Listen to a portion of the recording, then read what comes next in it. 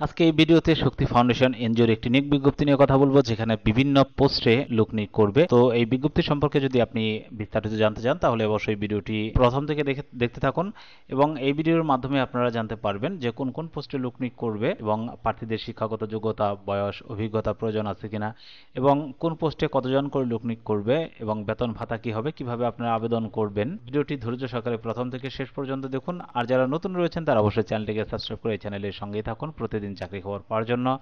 আপনারা এই যে বিজ্ঞপ্তিটি দেখতে পাচ্ছেন, এই বিজ্ঞপ্তিটি মূলত প্রকাশিত হয়েছে দৈনিক প্রথম আলো পত্রিকায় এবং দৈনিক বাংলাদেশ প্রতিদিন পত্রিকায় প্রকাশিত হয়েছে ছয় অক্টোবর দু হাজার তেইশ খ্রিস্টাব্দ। তো এখানে সাতটি পোস্টে লোক নিয়োগ করবে। সাতটি পোস্টের মধ্যে প্রথম যে পোস্টে রয়েছে তা হচ্ছে ট্রেনিং অফিসার। এই পোস্টে আবেদন করার জন্য প্রার্থীকে অবশ্যই স্নাতক পাস থাকতে হবে এবং বয়স থাকতে হবে সর্বোচ্চ পঁয়ত্রিশ বছর। এই পোস্টে আবেদন করার জন্য কোনো প্রকার অভিজ্ঞতার প্রয়োজন নেই। তিনশো জন লোক নিয়োগ করা হবে এই পোস্টের জন্য। প্রশিক্ষণকালীন মাসিক প্রশিক্ষণ ভাতা পাবেন বারো হাজার টাকা, শিক্ষানবিশকালীন মাসিক বেতন ভাতা অন্যান্য ভাতা পাবেন বিশ হাজার পাঁচশো টাকা এবং স্থায়ীকরণের পর বেতন হবে পঁচিশ হাজার পাঁচশো টাকা।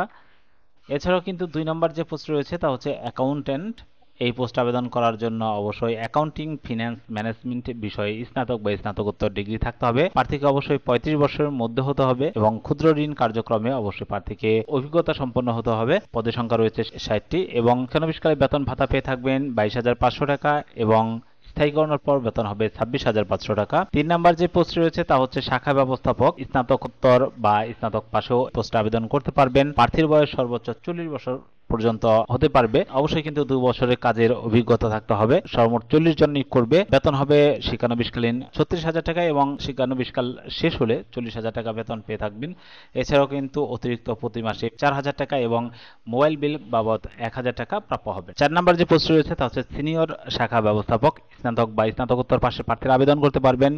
সর্বোচ্চ ছেচল্লিশ বছরের প্রার্থীর আবেদন করতে পারবেন। তবে এই পোস্টে আবেদন করার জন্য প্রার্থীকে অবশ্যই ছয় থেকে আট কোটি টাকার ঋণ স্থিতি পরিচালনা শাখা ব্যবস্থাপক পদে পাঁচ বছরের বাস্তব অভিজ্ঞতা থাকতে হবে এবং এই পোস্টে বিশ জন লোক নিয়োগ করবে, বেতন হবে শিক্ষানবিশকালীন চল্লিশ হাজার টাকা এবং শিক্ষানবিশকালে বেতন হবে চুয়াল্লিশ হাজার টাকা।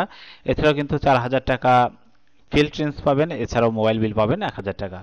পাঁচ নাম্বার যে পোস্ট রয়েছে তা হচ্ছে এরিয়া সুপারভাইজার এই পোস্ট আবেদনের জন্য স্নাতক বা স্নাতকোত্তর পাশ থাকতে হবে। সর্বোচ্চ সাতচল্লিশ বছরের প্রার্থীরা আবেদন করতে পারবেন। এই পোস্টে আবেদন করার জন্য কিন্তু প্রার্থীদেরকে পাঁচটি শাখায় এবং বিশ কোটি টাকা ঋণ স্থিতি পরিচালনা দুই বছরের বাস্তব অভিজ্ঞতা থাকতে হবে।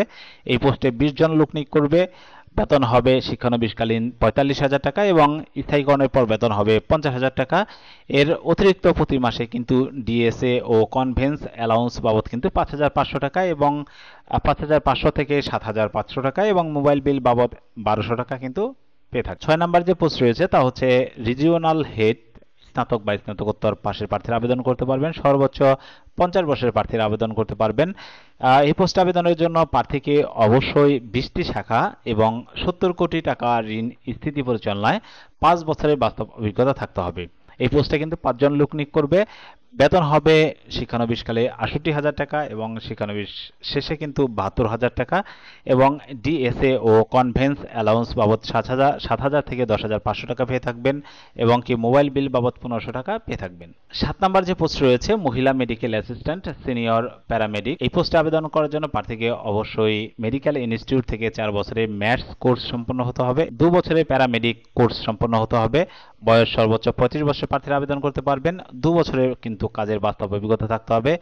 এই পোস্টে সর্বোচ্চ তিরিশ জন কিন্তু লোক নিয়োগ করবে। বেতন হবে ষোলো হাজার দুইশো টাকা। পাহাড়ি এলাকায় অবস্থিত শাখা সমূহে কর্মরতদের জন্য কিন্তু পনেরোশো থেকে পঁচিশশো টাকা আঞ্চলিক ভাতা প্রদান করা হবে। এছাড়াও কিন্তু সংস্থার পলিসি অনুযায়ী দূরত্ব ভাতা প্রদান করা হবে সাতশো পঞ্চাশ থেকে পঁচিশশো টাকা পর্যন্ত। এছাড়াও কিন্তু বৈশাখী ভাতা পেয়ে থাকবেন। বছরে দুইটি উৎসব বোনাস পেয়ে থাকবেন। অ্যাকাউন্টেন্ট পদের জন্য কিন্তু ছয় হাজার টাকা ফি জমা দিতে হবে। এক, দুই ও সাত নং পদের জন্য জামানত বাবদ কিন্তু পনেরো হাজার টাকা কিন্তু জমা দিতে হবে। অর্থাৎ চাকরি হওয়ার পরে। এছাড়াও কিন্তু আবেদন করবেন কীভাবে সেটা আপনাদেরকে জানিয়ে দেওয়া দরকার এবং আগ্রহী ও যোগ্য প্রার্থীদের পূর্ণাঙ্গ জীবন বৃত্তান্ত সদ্য তোলা দুই কপি রঙিন ছবি, সকল শিক্ষাগত যোগ্যতার সনদ, অভিজ্ঞতা সম্পন্ন প্রার্থীদের ক্ষেত্রে আবেদনপত্রের চাকরির যোগদান ও শেষ কর্ম দিবসের তথ্য উল্লেখ করতে হবে এবং অভিজ্ঞতা সনদ সংযুক্ত করতে হবে। জাতীয় পরিচয় পত্রের ফটোকপি এবং রেফারেন্স হিসেবে আত্মীয় নন, এমন আত্মীয় নন এমন দুজন ব্যক্তির নাম। পেশা, ঠিকানা ও মোবাইল নম্বর সহ আবেদনপত্র নিম্নলিখিত ঠিকানায় কিন্তু পাঠাতে হবে ছয় নভেম্বর দুহাজার তেইশ তারিখের মধ্যে। তো আবেদন পাঠাবেন যে ঠিকানায় তা হচ্ছে senior director H R department Shakti foundation for disadvantage women, বাড়ি নম্বর চার, রুট নম্বর এক, main route, block A, section এগারো, মিরপুর, পল্লবী, ঢাকা, বারোশো ষোলো। এই ঠিকানায় কিন্তু আপনাদের আবেদনপত্র পাঠাতে হবে। তো এই হচ্ছে আজকের শক্তি ফাউন্ডেশন এনজিওর নিয়োগ বিজ্ঞপ্তি তো এরকম চাকরি খবর পাওয়ার জন্য অবশ্যই চ্যানেলটিকে সাবস্ক্রাইব করে এই চ্যানেলের সঙ্গেই থাকুন।